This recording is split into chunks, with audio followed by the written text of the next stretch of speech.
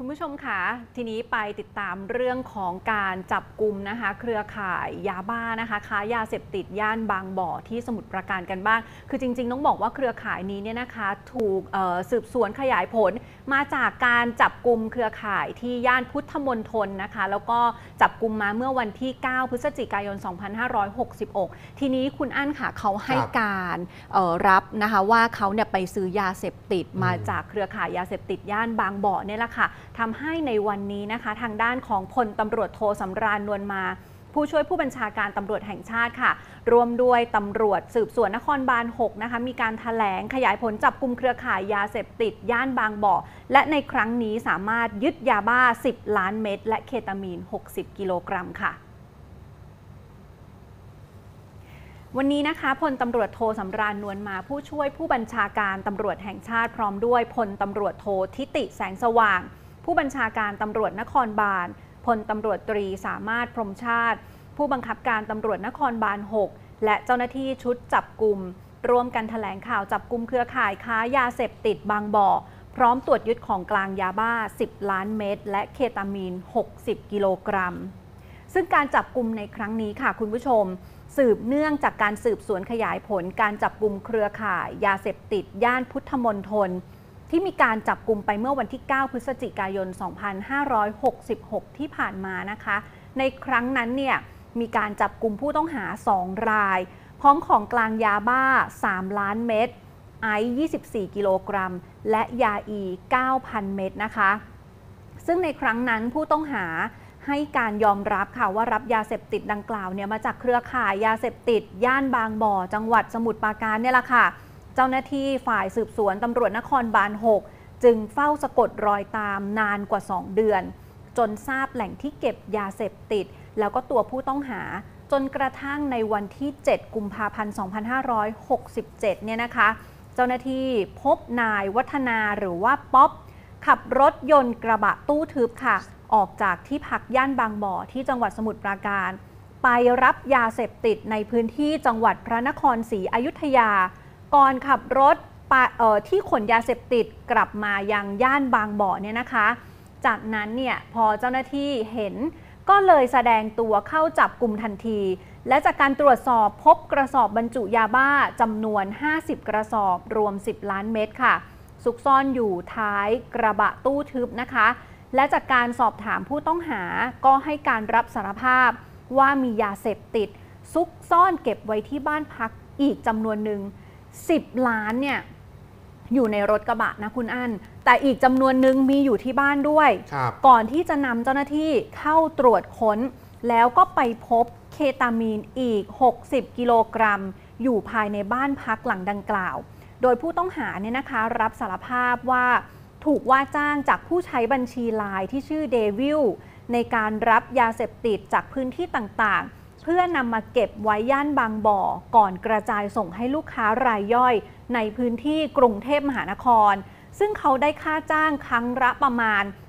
120,000 บาท เจ้าหน้าที่จึงแจ้งข้อกล่าวหานะคะจำหน่ายยาเสพติดให้โทษประเภทหนึ่งเมทแอมเฟตามีน และจำหน่ายวัตถุออกฤทธิ์ต่อจิต และประสาทประเภท 2 ก่อนนำตัวส่งพนักงานสอบสวนกองบัญชาการตำรวจปราบปรามยาเสพติด เพื่อดำเนินคดีตามกฎหมายต่อไปค่ะ ก็ต้องถือว่า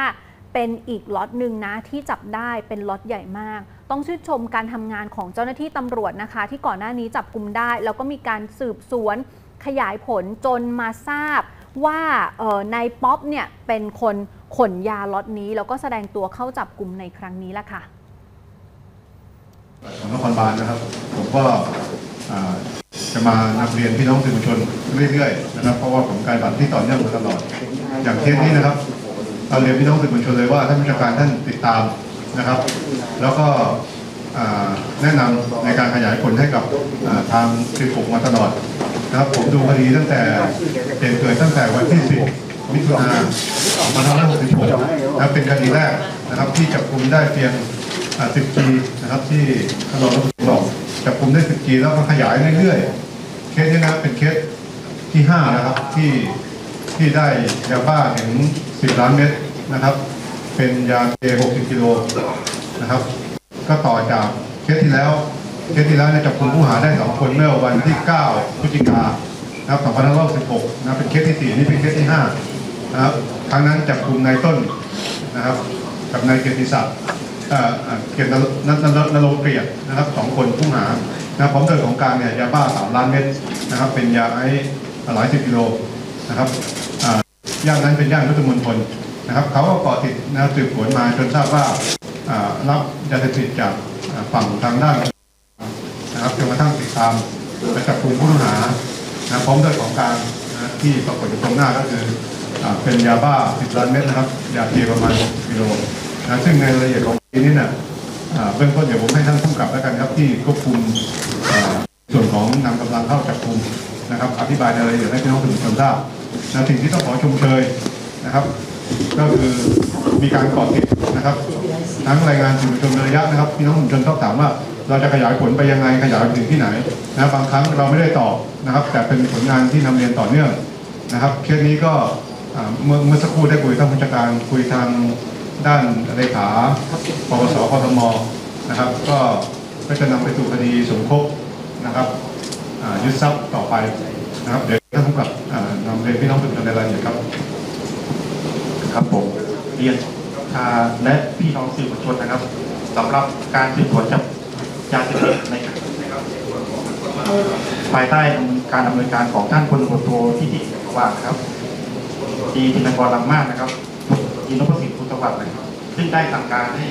ทุกหน่วยในกองบัญชาการนะครับดำเนินการสืบสวนจับกุมและขยายผลให้ถึงที่สุดนะครับ ในส่วนของกองบังคับการตำรวจนครบาล6นะครับ โดยท่านพลตำรวจตรีสามารถภูมิชาตินะครับพันตำรวจเอกนริศนะครับพันตำรวจเอกเอกนัทนะครับรองผู้บังคับการนะครับ ก็ได้สั่งการให้ผู้ตรวจนะครับตามนโยบายของผู้บังคับบัญชานะครับ ในส่วนนี้นะครับเมื่อวันที่ 9พฤศจิกายนนะครับ โดยท่านผู้บังคับการนะครับ ก็ได้ทำบริการด้วยตนเองนะครับ ก็เข้าไปดูในจุดที่มีการจับกุมนะครับ วันที่ 9 ได้มีการจับกุมตัวผู้ต้องหาได้สองรายนะครับชื่อนายต้นและของของกลางนะครับเป็นยาบ้า3ล้าน8แสนเม็ดนะครับ ยาไอซ์24 24กิโลกรัมนะครับ ก็จากการสักถามขยายผลนะครับ ก็ให้การรับว่านะครับ ไปรับยาเสพติดมาจากย่านบางบ่อนะครับ หลังจากนั้นชุดสืบสวนนะครับก็ได้ ดำเนินการสืบสวนแล้วก็เฝ้าติดตามนะครับใช้เวลานะครับประมาณ 2 เดือนนะครับ เพื่อพิสูจน์ทราบตัวบุคคลนะครับยานพาหนะนะครับ และแหล่งที่พักของยาเสพติดนะครับจนกระทั่งเมื่อวันที่ 7 กุมภานะครับ เวลาประมาณตีสามนะจากการที่เราได้เฝ้านะครับเฝ้าเฝ้าสะกดรอยอยู่นะครับ ก็พบว่านะครับนายวัฒนานะครับหรือป๊อกนะครับ มีการขับรถกระบะผู้ทึบนะครับออกจากย่านบางบ่อนะครับ แล้วก็มีรถนำนะครับเป็นรถกระบะหนึ่งคันนะครับ มาที่แถวบางปะหันนะครับ เราก็สะกดรอยติดตามนะครับจนกระทั่งเห็นว่ามีการนะครับไปรับยาเสพติดนะครับ หลังจากนั้นก็ขับกลับมาที่แถวบางบ่อนะครับ เพื่อจะนำเข้าไปเก็บนะครับเราก็เลยได้ตัดสินใจนะครับ เข้าทำการจับกลุมนะครับ ผลการจับกลุมปรากฏว่าพบนะครับ ของกลางนะครับเป็นยาบ้านะครับจำนวน 50กระสอบนะครับกระสอบละ2แสนเม็ดนะครับ รวมทั้งหมด 10 ล้านเม็ดนะครับบรรทุกอยู่ในตู้ทึบนะครับ ซึ่งปกปิดนะครับมีการใส่กุญแจนะครับล็อกไว้นะครับ หลังจากนั้นสอบถามแล้วนะครับ ได้ขยายผลต่อมาคนที่บ้านนะครับพบเคตามีนอีก 60 กิโลกรัมนะครับ ในส่วนนี้นะครับจึงได้มีการจับกลุ่มตัวดำเนินคดีนะครับจากการสอบถามก็รับว่านะครับ ได้รับคำสั่งมาจากผู้ใช้แอปพลิเคชันนะครับไลน์ที่ว่าเดวิลนะครับ ให้ทำหน้าที่ไปรับยาตาม ตามที่ต่างๆนะครับ และก็รอรับคำสั่งเพื่อนำไปส่งให้กับลูกค้านะครับ โดยได้รับค่าจ้างนะครับประมาณสี่แสนสองพันบาทนะครับ หลังจากไปรับงานมาเสร็จส่งให้ลูกค้าเสร็จก็ถึงจะได้รับเป็นผลนะครับ ในส่วนนี้ก็อ้างว่านำไปใช้ในข้อติดตัวนะครับ แล้วก็รักษาข้อที่ป่วยนะครับ จากการตรวจสอบประวัตินะครับ พบว่านะครับถูกจับกุมในข้อหาเสพนะครับ และข้อหาครอบครองเพื่อจำหน่ายในพื้นที่สมุทรปราการนะครับ การจับกุมในครั้งนี้นะครับเราดำเนินการมาเป็นครั้งที่ห้าแล้วนะครับ ก่อนหน้านี้ก็เริ่มต้นจากเคสแรกครับ มีการล่อซื้อนะครับ ขายยาเสพติดเฮโรอีนนะครับทางทวิตเตอร์นะครับ โดยขนส่งทางพัสดุนะครับ แล้วเราก็มีการขยายผลเรื่อยมานะครับ มาจับกลุ่มอีกทั้งหมดสามคดีนะครับ รวมคดีนี้ก็เป็นคดีที่ห้าครับ ครับผมครับ ก็ขออนุญาตเรียนพี่น้องสื่อมวลชนเพิ่มเติมนิดนะครับจะเห็นได้ว่าในช่วงนี้นะครับ จับกลุ่มรอบๆบริเวณพื้นที่กองบัญชาการรวจนครบาลนะครับ ก็สืบเนื่องมาจาก ยาบ้าพวกนี้นะครับก็เป็นสิ่งที่เขาจะนำมากระจายนะครับลงชุมชนซึ่งซึ่งก็ผมว่าท่านบัญชาการนครบาลอาจจะใช้แผนพิทักษ์เมืองก็ได้ตอนนี้นะครับ ก็คิดว่าน่าจะมีรถใหญ่ๆอีกที่จะขยายผลต่อไปนะครับ ก็สืบเนื่องมาจากว่าถ้าปล่อยเข้ามาในชุมชนแล้วจับคุมยากครับจึงต้องมีการสืบสวนสอบสวนไปถึงต้นทางนะครับก็คิดว่าเป็นการประสานการร่วมกันนะครับ ในส่วนของอ่ากรมชาการนครบาลแล้วก็ ทางปปสกทมนะครับ สิ่งหนึ่งที่เราขาดไม่ได้ก็ต้องเรียนนำเรียนผ่านสื่อพี่น้องสื่อมวลชนไปด้วยว่า พี่น้องประชาชนที่ที่ได้รับผลกระทบ หรือไม่ว่าจะเป็นในส่วนของการอาเสบนะครับแล้วทิ้งข้างหรือก่อความเดือดร้อนรำคาญหรือมีเหตุต้องสงสัยนะใกล้บ้านจะเป็นแหล่งพักยาแหล่งเก็บยาหรือเป็นจุดเสียบจุดเสี่ยงนะครับสายด่วนหนึ่งเก้าหนึ่งเราก็ยังเปิดรับแจ้ง นะครับทางท่านเจ้าคณะนครบาลก็มอนิเตอร์ทุกเดือนนะครับ ทุกอาทิตย์ทุกวันนะครับเพื่อที่จะตอบสนองนะครับข้อร้องเรียนของพี่น้องสื่อมวลชนและส่วนนี้ก็ประชาสัมพันธ์ว่าเราน่าจะใช้ช่องทางการติดต่อการรับแจ้งอีกส่วนหนึ่งนะครับ1599 ของอ่าสำนักงานชาตินะครับ โดยท่านผบตรท่านรองผบตรก็ขับเคลื่อนนะครับจะไม่ให้ตกหล่นในข้อร้องเรียนของพี่น้องประชาชนนะครับอีกประเด็นหนึ่งก็คือท่านไม่ต้องห่วงเรื่องการปกปิดนะฮะแหล่งข่าว อันนี้ก็ฝากพี่น้องสื่อมวลชนนำเรียนตามนำเนิน